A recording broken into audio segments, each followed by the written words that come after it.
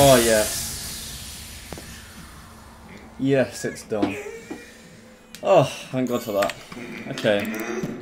That probably is a hard demon. 424 attempts. That was hard. That was not my kind of level. Like, that's not the kind of level I'm very good at. I'm not good at fast paced and fast gameplay change stuff and all that and that kind of gameplay. It was weird to me, so it took me a lot of attempts and it was hard to learn, but it was actually surprisingly fun considering I thought this was going to be horrible. So I think now I only have like six or seven KrmaL levels left and I've done everything and that's cool. So next I'm probably going to do Valor.